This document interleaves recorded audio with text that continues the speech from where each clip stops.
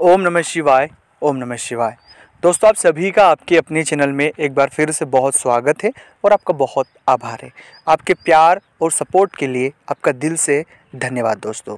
आज इस वीडियो में बात करने वाले हैं कि दीपावली के दिन, यानी आज से लेकर तो दीपावली से 11 दिन जो आने वाले हैं, इसके बीच में आप ये उपाय कभी भी कर लें। वक्त हमारे पास कम है। इन उपायों को करने से शायद आप अपने जीवन में एक सकारात्मक बदलाव देख सकते हैं। वो कौन से उपाय हैं? उन उपायों को आपको कैसे करना है? और क्या क्या सावधानियाँ बरतना है? इन सब चीज़ों को आज इस वीडियो में हम बात करने वाले हैं दोस्तों।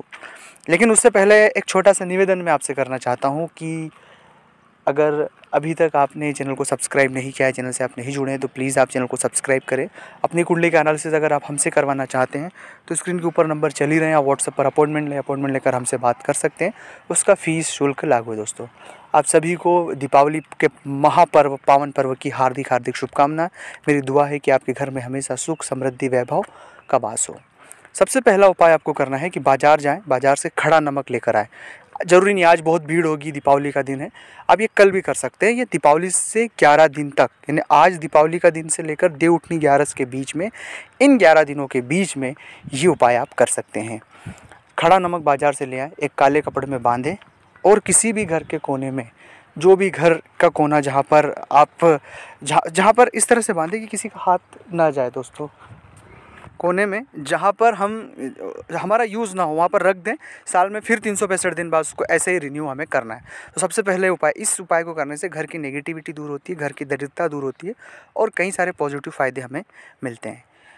दूसरा उपाय है, आज हो सके तो चांदी का सिक्का ज़रूर लाएँ। अगर आप अफोर्ड कर पाएँ तो ज़रूर है। या कल ले आएँ, इन ग्यारह दिनों के भीतर भीतर आप कभी भी एक चांदी का सिक्का ज़रूर लाएँ, अपनी बरकत में, अपनी तिजोरी में पूजा पाठ करके रख लें। इससे आपको बहुत हद तक फ़ायदा होगा दोस्तों। तीसरा उपाय है कि आज से लेकर तो 11 दिन तक अब रोज़ गीता के एक पाठ का अध्ययन करें। कोशिश करें कि इन 11 दिनों में हम गीता के 18 के 18 अध्याय पढ़ लें। किसी दिन दो पढ़ लें, किसी दिन एक पढ़ लें, किसी दिन तीन पढ़ दें।